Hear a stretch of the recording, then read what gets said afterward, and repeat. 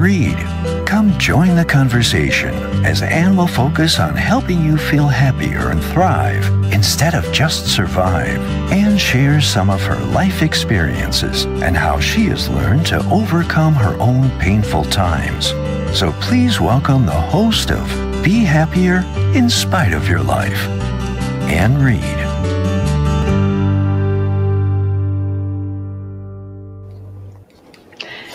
I am Anne Reid, and I want to welcome you to my show, Be Happier in Spite of Your Life, on Bold Brave TV Network.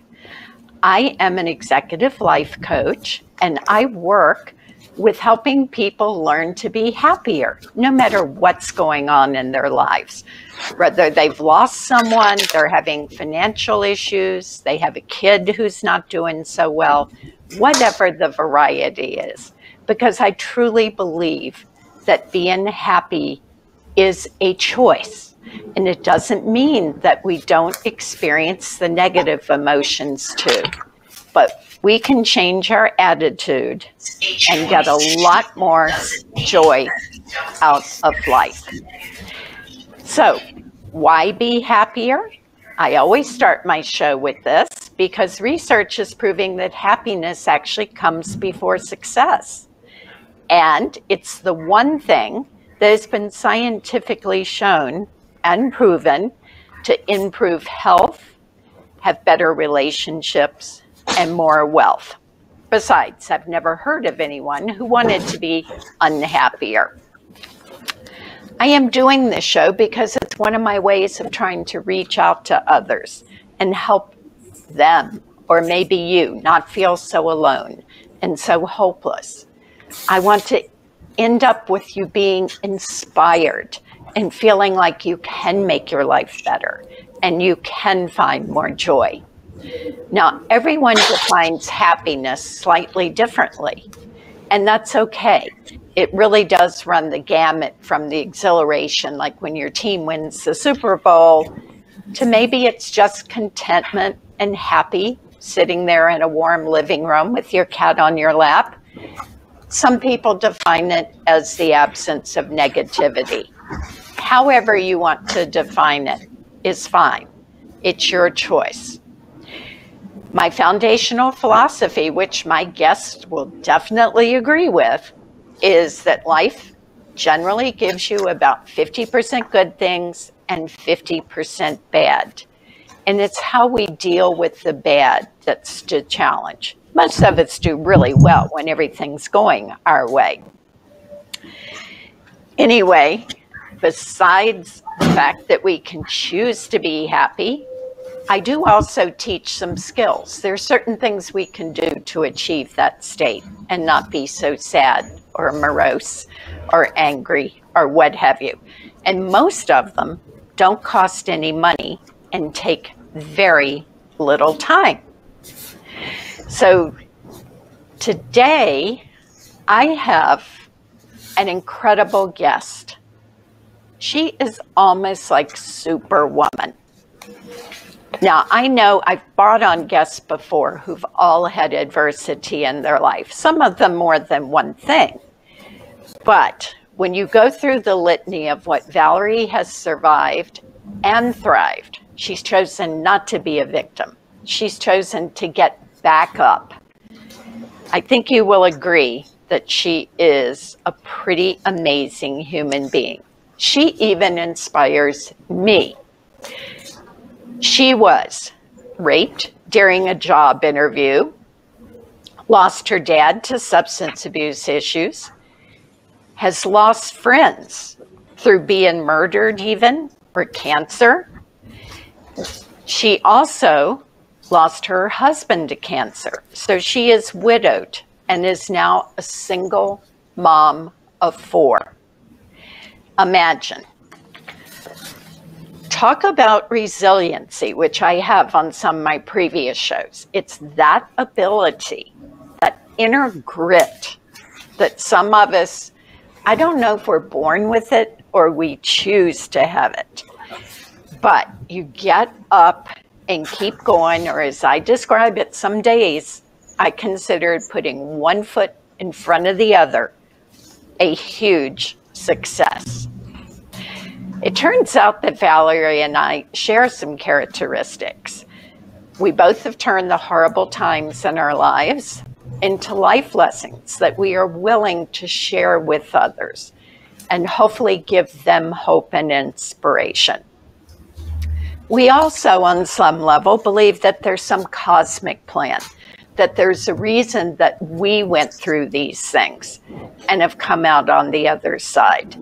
And we really perceive that as a gift to help others and give them hope by going public with some of our stories, writing books, doing this TV show, doing podcast. So now I would like to open the door to Valarie Yoshe and let her introduce herself and give you some more details. Valarie, the floor is yours. Hi, Anne. Thank you for having Hello. me on your show. I'm so excited. Uh, well, my name is Valarie Yosway. I am 41 years old. As you mentioned, I'm a single mom of four children. I have a 16 year old daughter, a 16 year old son, a 10 year old daughter, and my youngest daughter is nine. I grew up in Philadelphia, but I live in New Jersey. Um, I model, I teach ballet, I do ballet modeling. Um, I've recently got into runway.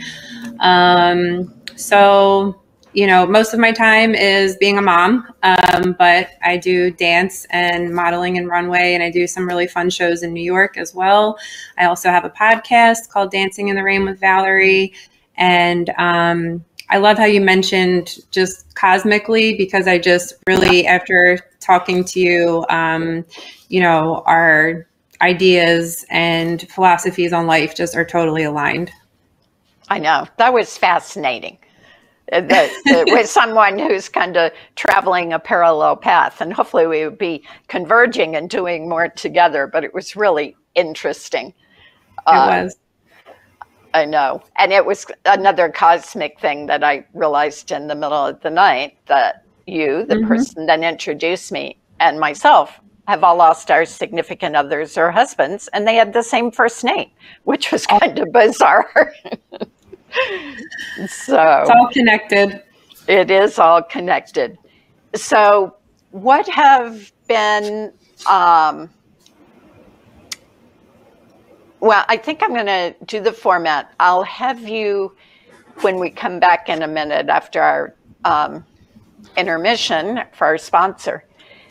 Um, anyway, this is Anne Reid, and I can't wait to come back with Valarie and have her describe what some of her absolute worst moments would be. And this is the Bold Brave TV network. Be happier in spite of your life. All right, Valarie, I'd love for you to share now that we're back on Be Happier in Spite of Your Life Anne Reid on Bold Brave TV Network.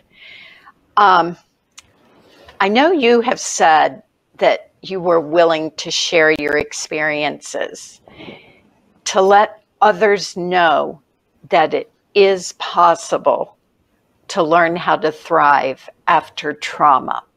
So, would you mind sharing a couple of events that you've had that maybe at the time you weren't quite sure you were going to get through?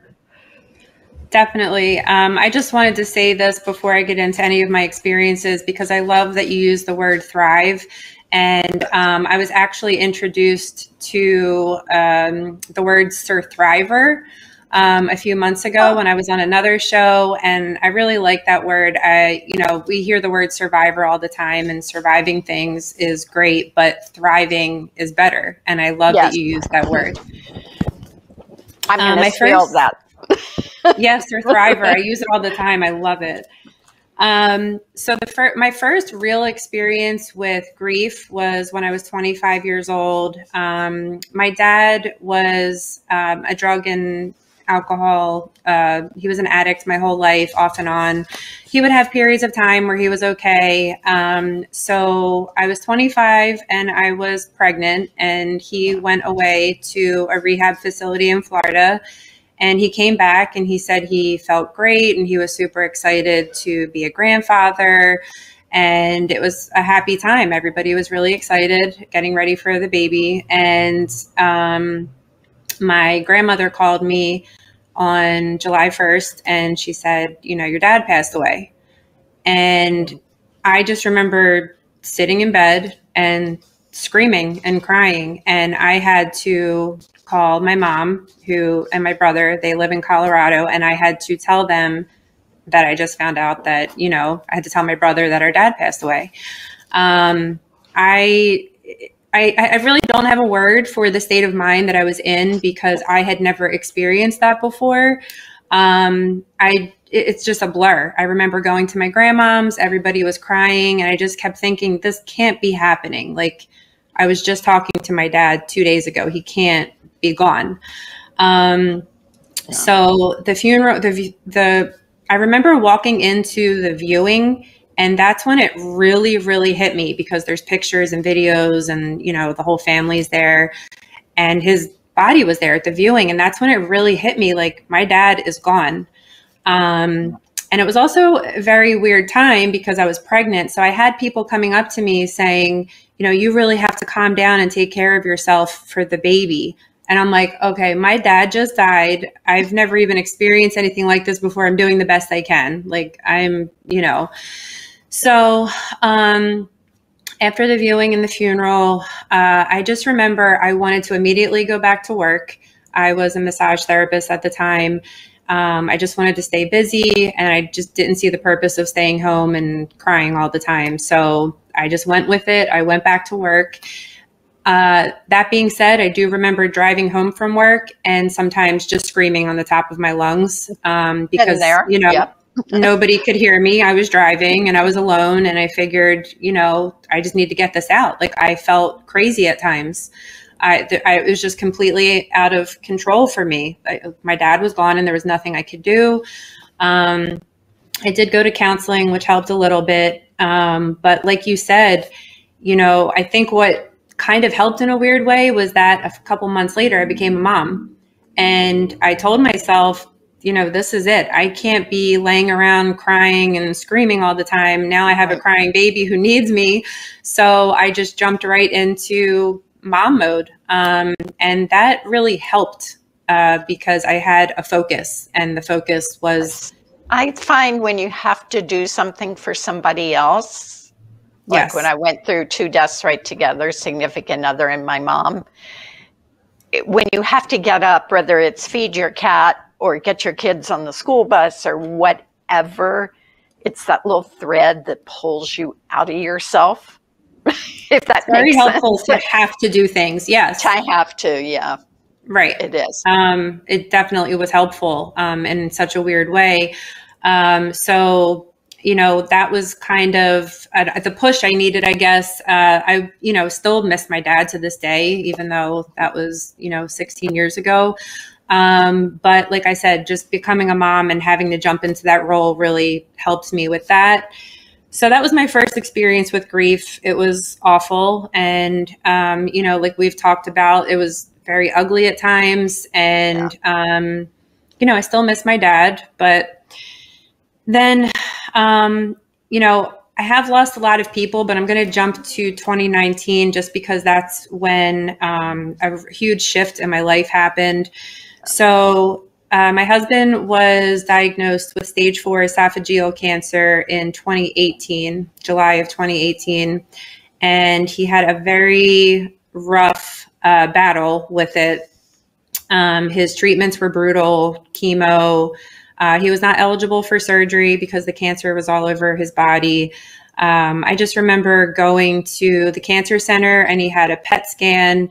And then we went upstairs to talk to the oncologist. And the doctor looked at us and said, I really can't believe, you know, at your age, he was 40 years old. He said, I, I, really have never seen anything like this. It's in your liver, your stomach, your lymph nodes, it's everywhere and it just really felt like a death sentence and i just remember feeling like i was you know in a fog like just walking around like a zombie like i couldn't even believe what was happening that this was real um, so, and also, this was my first experience with cancer. I didn't know anything about cancer before this.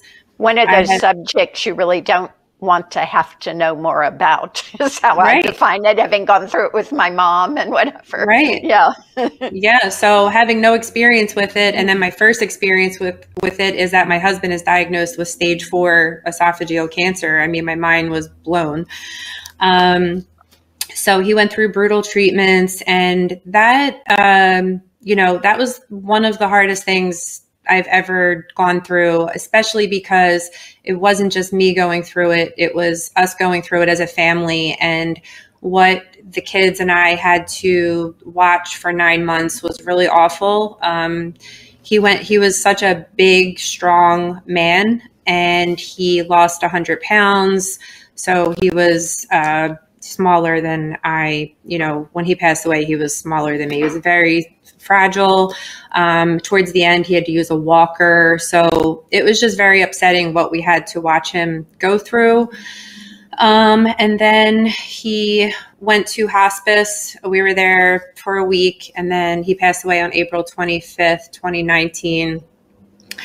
Um, so that was probably one of the most awful things I experienced. And then I hadn't even started to process that my husband was gone. I was a single mom, like I'm alone with the kids now. And uh, one of my best friends, Sarah, passed away two weeks later. Wow. Um, Hold on to that, and we'll start back up with Sarah. And uh, and some really your really significant losses. So this is Anne Reid on Be Happier. And believe it or not, even listening to Valarie's story, she is a happy person on Bold Brave TV network. We will be. This is Be Happier in Spite of Your Life with Anne Reid on Bold Brave TV network.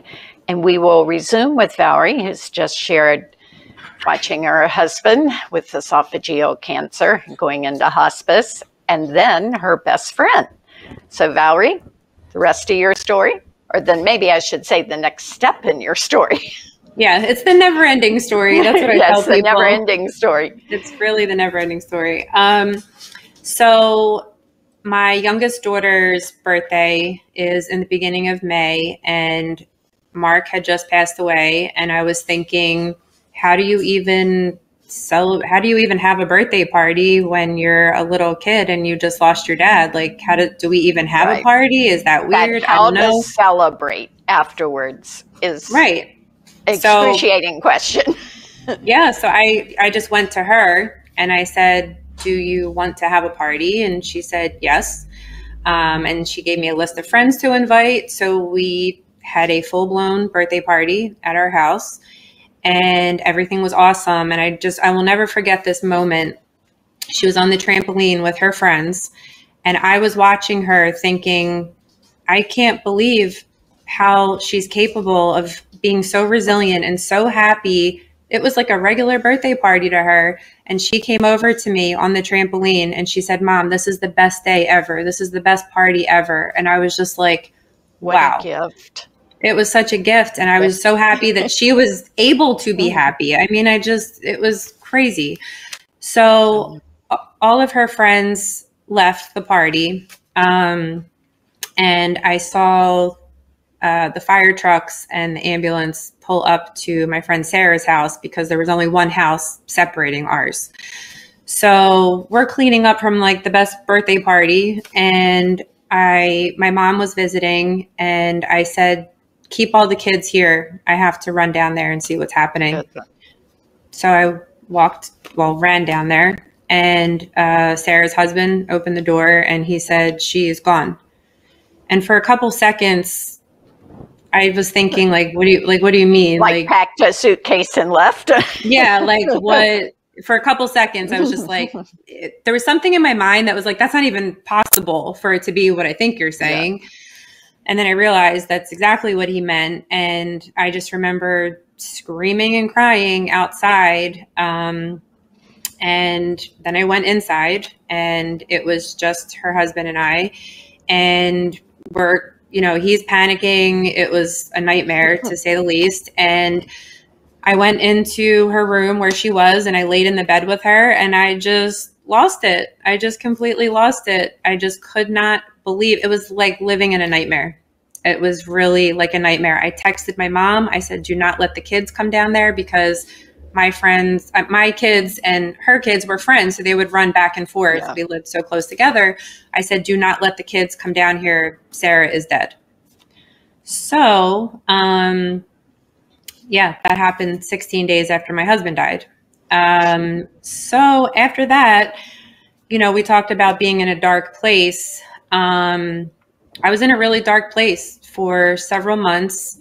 Um, so I just remember doing what I had to do, which there were lots of things I had to do, which was a good thing because it kept me moving sometimes. Yeah. I had to get my kids to school, I had to feed them you know, breakfast, lunch, and dinner. I had to pick them up from school. I had to get them to and from their activities. But other than that, um, I just wanted to sleep. So I would drop them off at school and then I would immediately go home and crawl in my bed with my cat and sleep for most of the day. I didn't really even care about eating, I just wanted to sleep. And then I would set the alarm, pick them up from school, do all the things I had to do, make them dinner, bring them to dance, and then as soon as they went to bed, I was right back in bed. Like I just wanted to sleep.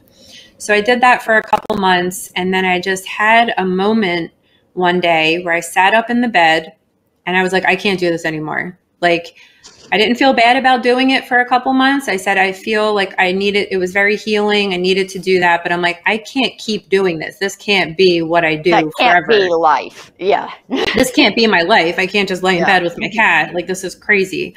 So I had this amazing idea that I was going to go back to ballet, even though it had been 21 years since I did ballet. And a part of me thought, like, are you crazy? Maybe you're really losing it because you're, you know, and when she years- says ballet, she goes back to the pointe shoes. This isn't right. like just standing at a barre and limbering up. right. It was a very specific thought. It had to be pointe yeah. shoes and everything, full blown, 100%. Like I'm either going for it or I'm not. And I thought to myself, I'm 38, I have four kids. Um, I just lost my husband and my best friend. Um, what am I even thinking? Like, why am I thinking this? But I said, you know what? Something was telling me I have to listen to this voice. I have to listen to this thought. So I went to the dance studio where um, my older kids have been going. Uh, this September will be 10 years that they've been there. The owner is, she teaches ballroom and Latin dancing, but she started out as a ballerina. So I went to her and I said, um, in order for me to process what just happened, uh, to process the grief, I need to start doing ballet again and it needs to be in pointe shoes. Can you please help me choreograph a dance? And she's like, Yeah, just go buy the pointe shoes. So I went to the dance store, the one that I take my kids to all the time, but this time I went there by myself and I said, I need pointe shoes. And they're like, Oh, well, what brand and type and size? And I said, I have no idea because I haven't bought a pair in over 20 years. I have no idea.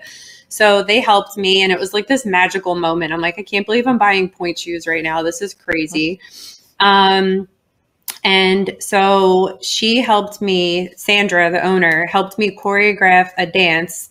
Um, it was the most beautiful thing. And, you know, I wore pointe shoes. So I did private lessons. Then I said, I need a partner because I want to do spins and lifts and I want to do all this stuff. So I'm like, I need a partner. I don't know any male dancers other than the dancers at the studio, but they all do ballroom and Latin dancing. So I went to Sarah's husband, Jack, and I said, um, I know you don't dance, but here's the concept. I'm going to be wearing pointe shoes. All four of my kids are going to be in the dance. My other very close friend, Paige, wore my wedding dress in the dance with angel wings. So she, my friend Paige, represented Sarah and Jack represented Mark. And the whole dance was absolutely beautiful. I'll have to send you the video. I'd love to see it. Yeah.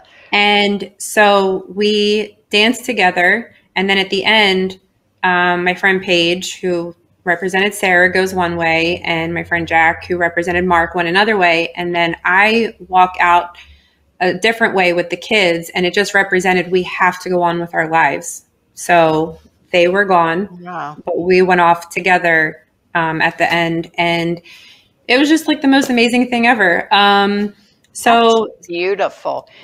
We need to do a sponsor break now, but we'll come back with that. That is just the imagery.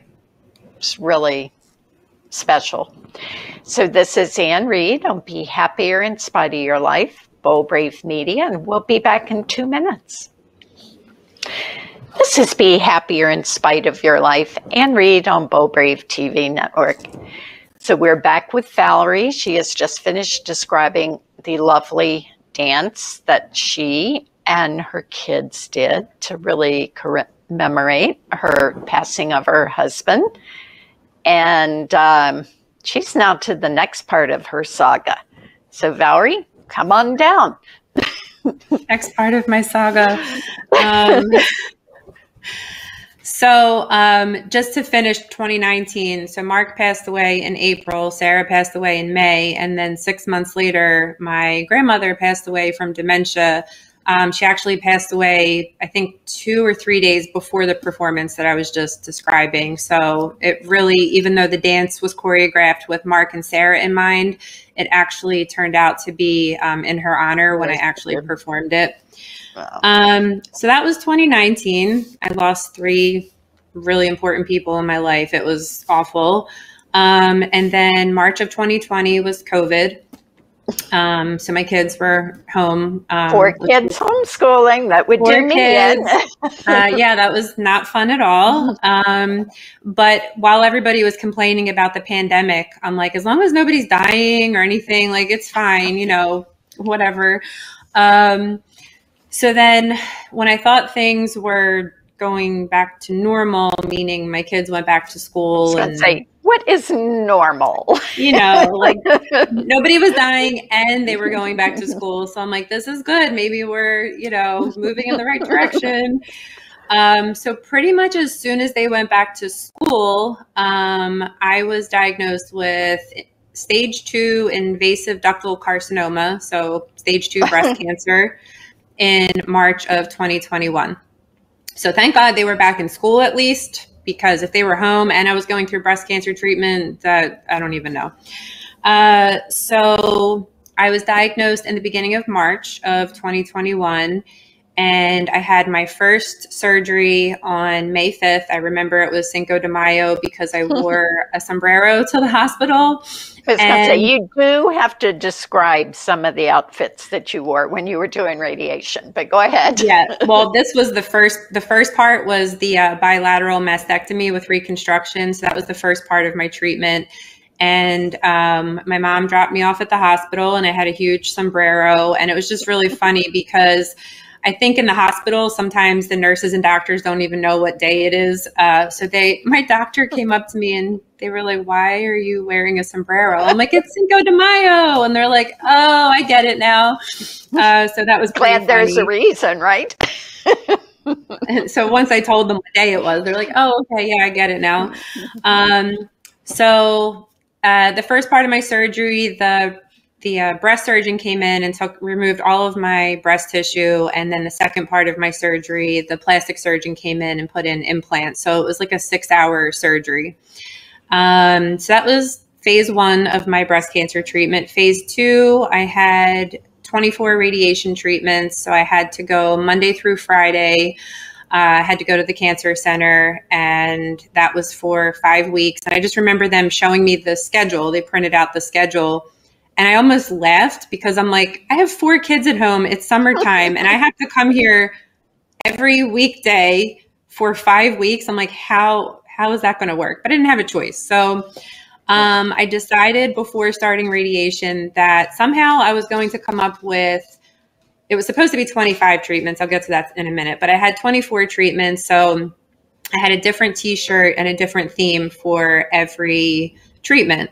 So it started out with just the different t-shirts. By the time I got to my 10th treatment, I was bringing in boxing gloves and like, you know, posing with the radiation techs and pretending I'm punching them and tying them up with the Wonder Woman lasso and wearing my pointe shoes and tutus with umbrellas. And I mean, it just kept getting more and more interesting. So I actually loved radiation. I really did make You're it fun. the only person I've ever heard say that, by the way. Same. I've never heard anybody say, and I I talked to my radio. Yes. And my radiologist was amazed. Um, you know, especially I found out I have a gene mutation. I have an ATM gene mutation. So on top of nobody ever liking radiation in the history of ever, um, the gene mutation that I have was actually supposed to make it worse. Like I was supposed to get a really bad rash on my chest and become like even more fatigued than like the average person. And I just, I don't know, I just told myself, like, I'm just going to make it fun. Whatever happens, happens. And I had a lot of fun and I felt amazing during radiation. Oh. Like, I felt amazing. So the one day I actually asked the radiologist if anybody had ever said that before. And he said, absolutely not. No. I have never heard this. He said, the more, the deeper you get in, he said, the treatments build on each other. Usually people become exhausted. Yeah. And I had so much energy. I, I had but more energy than I normally you're do. Superwoman. Look at your outfit yes, today that you wore. and actually, I'm so glad you brought that up because that's where the whole Wonder Woman thing started. Um, I am not yes. I'm not into comic books or anything like that, and I never really had any connection with Wonder Woman. But my last radiation treatment, I ordered a shirt and it had a huge Wonder Woman W on the middle, but the middle part was the pink uh, breast cancer ribbon. So uh-huh. I ordered the accessories. So I had the Wonder Woman headband, I had the gloves, and I had the lasso. So I put that on with the t shirt and I tied up the radiation tech and took pictures. So my last radiation treatment was where Wonder Woman, that's how it all started. And then it just took off after that. Um, so phase two was the you know 24 radiation treatments then uh, september of 2021 i had my tubes and ovaries removed um, and now I am on medication for the next 10 years. Um, so my surgeries are done, radiation's finished. Uh, now I just take medication. And I know that you also, um, I've seen some of your writing or your podcast or whatever, that you really believe in the power of the mind and that you were going to get through this. So, anyway, we are going to take another break.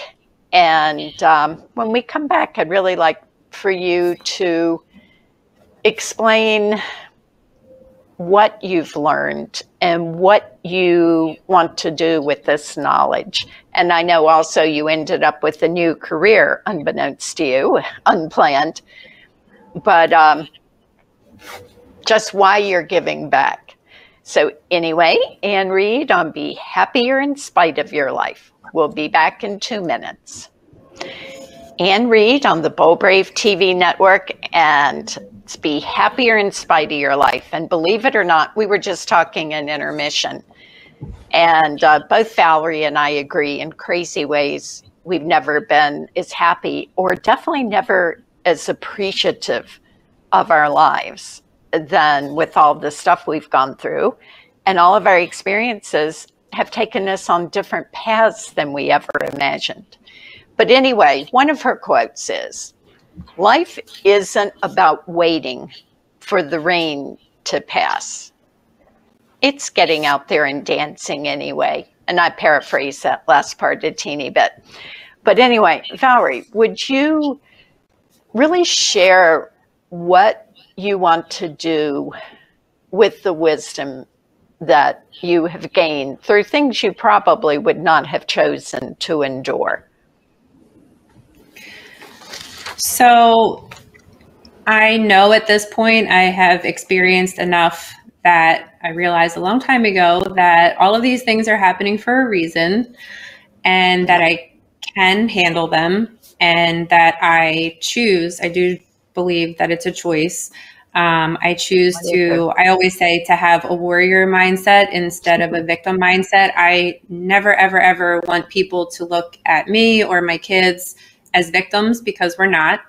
And we have just become more resilient and, you know, more appreciative, as you mentioned. That I love that word. I just, yeah. Every time so eyes wide open is the only way I know how to say it. You see everything, you smell everything. I know. You realize what's important, what's not. Um, I, I know. I know. wasn't seeing in color after I lost my significant other and my mom so close together. It was really three or four months, and I didn't realize it at the time. It was afterwards. I was out on a bright sunny day, kayak. Friend drugged me out kayaking, and it was like I can see everything. I can see the color of the water and the sky. And, mm-hmm. you know, it, it was just like all of my senses came back to life and they really haven't shut down. Right.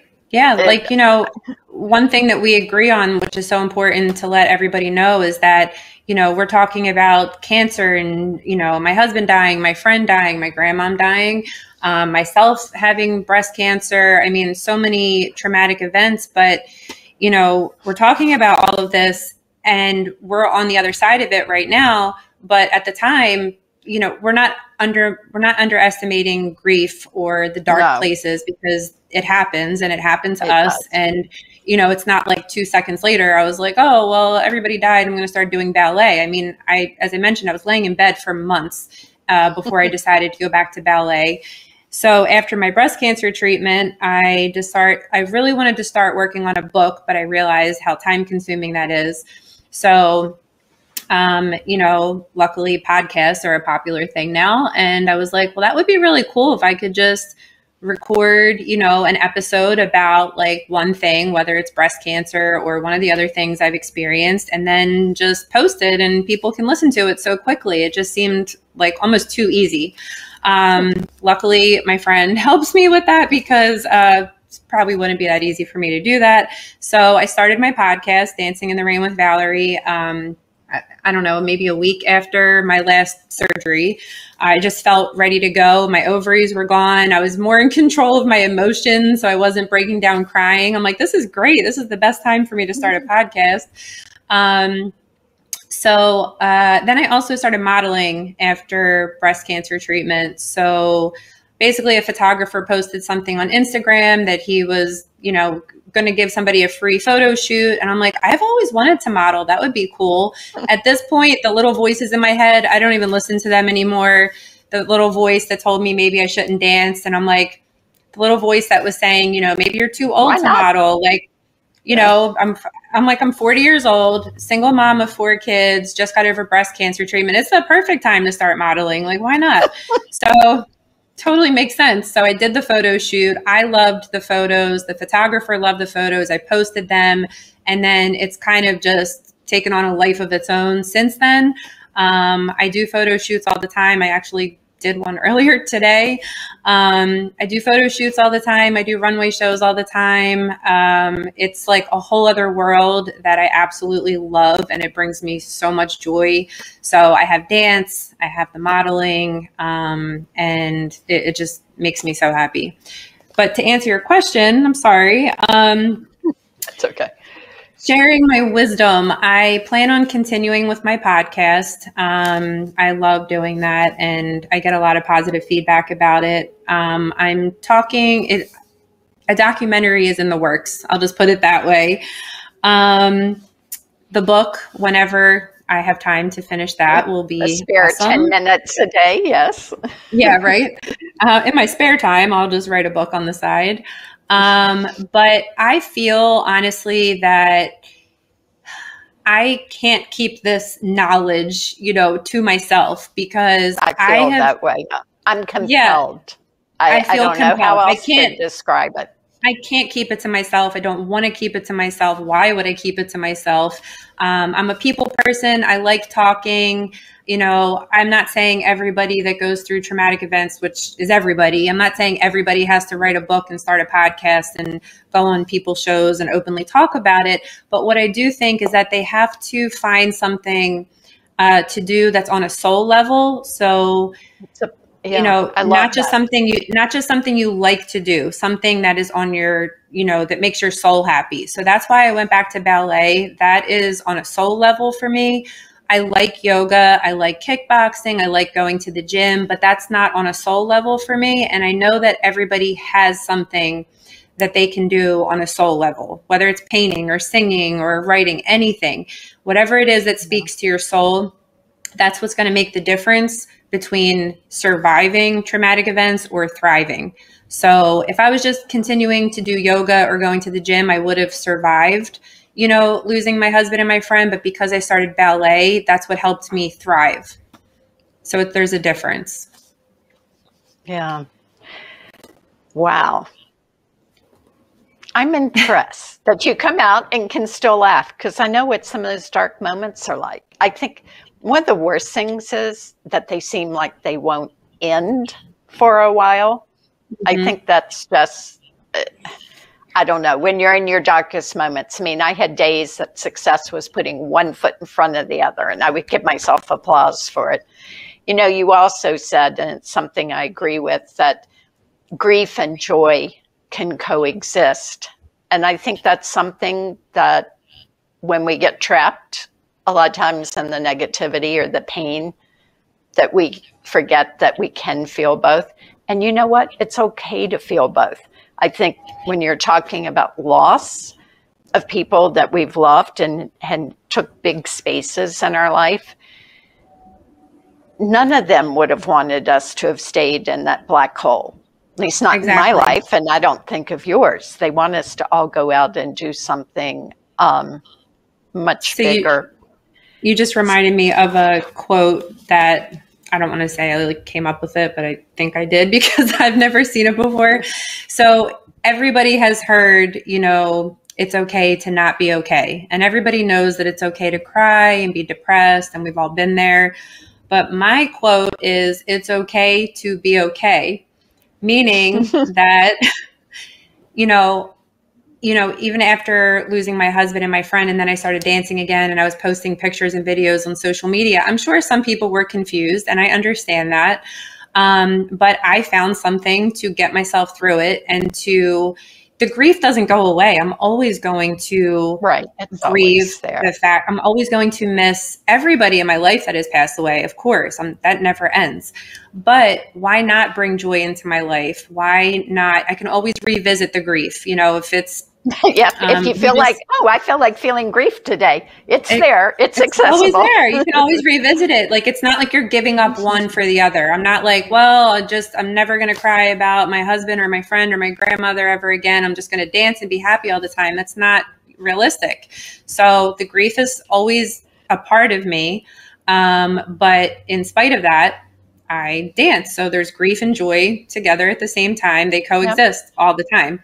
But I love I actually had t-shirts made that says it's okay to be okay because I've talked to people that have been through traumatic events and they're like, I actually kind of feel okay. And I'm like, you don't have to yeah, be, don't, don't have apologize to apologize. if you're okay, that's great. It's okay to be okay. I feel like in this, you know, society in general, it's just like once you go through, you lose somebody or you have cancer, it's like you're supposed to stay down. And I am here to tell people the opposite. Like you have to pick yourself nope. back up. You if you tell yourself, once you have that, you know, Wonder Woman mindset or that warrior mindset or thriver mindset in place, it will carry you through the rest of your life because as you mentioned it's like 50% good and 50% bad and you just have to know that no matter what happens like the worst of the worst thing could happen but you will still get through it it is possible because you're here to tell everybody, and I'm here to tell everybody that we have been through a lot. And as long as you believe in your heart that it's possible, you will get through it. Right. Um, we're going to break now. We'll come back, and if you very briefly just want to give people um, how they can reach you or see your podcast and whatever, Anne Reid Bold Brave TV Network, Be Happier in Spite of Your Life. Anne Reid back with Valarie on Be Happier Spite of Your Life. Valarie, thank you so much for joining me and saying a lot of things I say. I'm sure people appreciated hearing from somebody else. And I would love if you would give all your social media handles so if people want to reach you and if you have one last thought, share it.